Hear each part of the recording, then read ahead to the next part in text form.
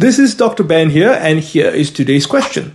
How can losing just one or two kilograms make such a big difference to knee pain? Well, the quick answer is this because your knees do not feel the kilograms, they feel force.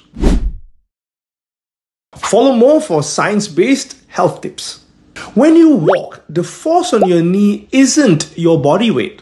Actually, is three to four times your body weight because the knee works like a lever and every step adds impact, momentum, and muscle contraction.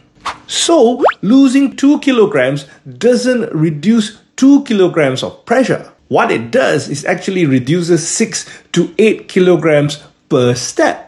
On top of that, if you multiply that by 5,000 to 7,000 steps you take every day, that tiny 2 kilogram loss is actually going to remove 40,000 to 50,000 kilograms of load from each knee every single day.